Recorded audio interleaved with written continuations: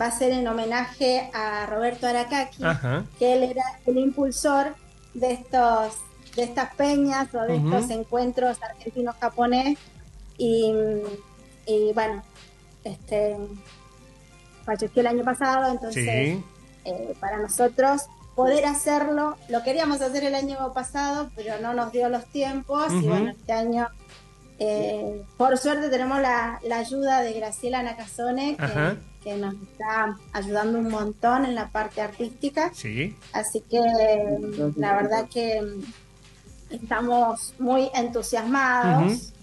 Además por la participación este año de Bruno Arias y de la cantante Ana Saeki, que vino desde Japón y la verdad que estamos orgullosos de poder contar con Ana Saeki. ¿eh?